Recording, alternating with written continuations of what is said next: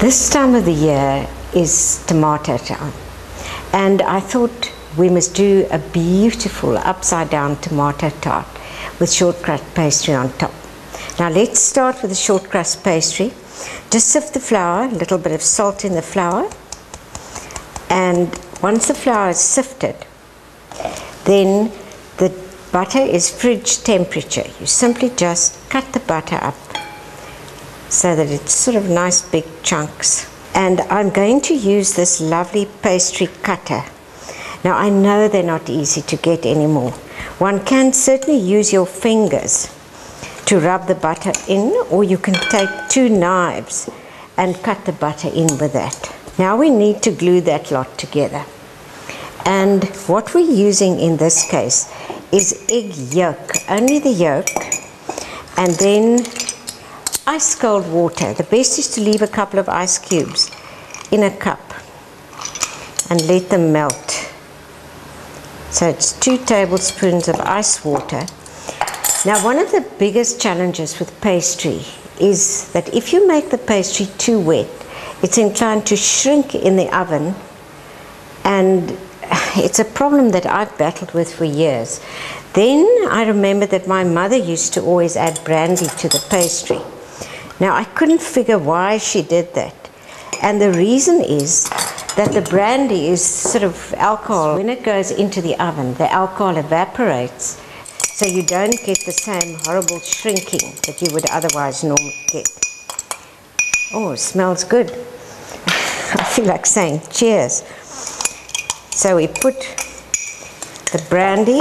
Obviously, if you can't use alcohol, you can leave the brandy out. Just cut this mixture in with a little knife until you get these coarse wet crumbs. And now at this stage, you start using your hand to, and you look at the action, you turn the bowl and you go like this. So this dough, we can just put in a little plastic bag and don't be tempted to use the dough straight away. It needs to stand to rest for a while. Now for this tomato tart, we need lovely ripe, ripe is the operative word here. Tomatoes, the Roma tomatoes are nice and fleshy and they give you an excellent result. The tomatoes must just be cut into quarters and put into a bowl and then we're going to toss them with some dressing. Okay. Now that we've cut up the tomatoes, we are going to add some of the balsamic vinaigrette. Now obviously that lovely sweet balsamic flavor goes exceptionally well with the tomatoes and it helps to roast the tomatoes nicely.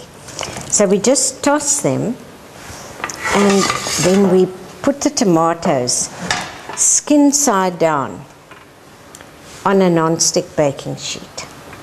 Now while Janet is doing the tomatoes, let's just prepare the bell peppers. And now we're going to cut those peppers lengthwise each half into four. In other words, the whole pepper will be cut into eighths. Now, likewise, the peppers get to uh, tossed in the in the dressing. We put them on the same baking sheet with the tomatoes. So this now goes into the oven to roast, about 45 minutes. We've got one that has been roasted. Now we're ready to line the flan dish. But the secret to this recipe is at the bottom of the flan we're going to put a proper sugar caramel and that caramel when the pie bakes coats this tomato tart with a beautiful glaze. Now let me show you the secret of making a really good caramel. The big secret when you're caramelizing sugar is never to stir it. You actually just want to use a tilting movement of the pot. Dry pot, dry sugar goes into the pot and all you do is shake the sugar. Now you can see our sugar has caramelized completely. Now you immediately take it off the heat and pour it into your porcelain dish. And then straight away take the dish and tilt it away from you and just tilt it so that you try and coat the whole base of the dish with this lovely aromatic caramel. Now we're going to line the dish with the baked vegetables. Now the tomatoes have still got their lovely shiny skins. We simply just arrange the tomato on top of the caramel. Then we fill in the gaps with the peppers because you want to have, when the tart is turned upside down, it needs to have a beautiful red look. Now a natural partner with tomatoes is always onions. Now what we've done with the onions is we've used four onions which we first slice in half and then slice the halves into thin little rings. So these onions were put into a saucepan and they were smoored very, very slowly. But there is another little trick or a technique that I really would love to teach you. And that is to smoor your onions under a paper collar. Then you never get the onions burning and the water as it evaporates drips back into the onions and you get this beautiful slow cooking and sweetening and flavor development of the onions. Now to make this paper collar, you just take a piece of greaseproof paper, fold it in half, in half, and then in half again. And then you just keep folding it like this, and then you cut the excess off, and then you cut into the top so that when you open it up to go over the onions in a pot, you've got this frilly bit which takes the shape of the pot. And then you can simply just put your lid on there. This needs a little bit of garlic and herb seasoning on the tomatoes and the peppers. Now, just spread this gently over there. Here you are, sweetheart, you're looking good. I'm sure you know by now that I just love making pastry.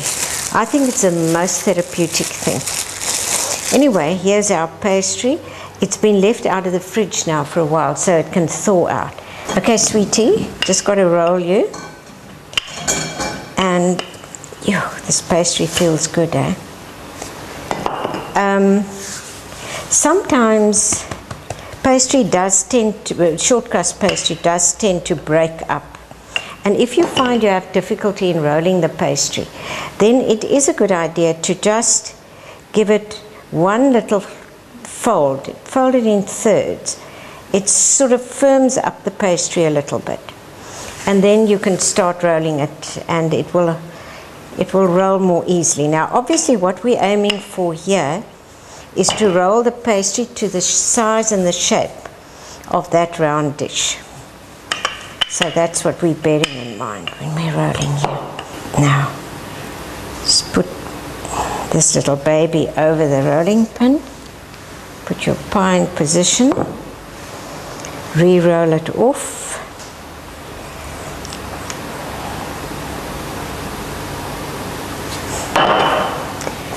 And now Please do not stretch the pastry. I can't emphasize this enough.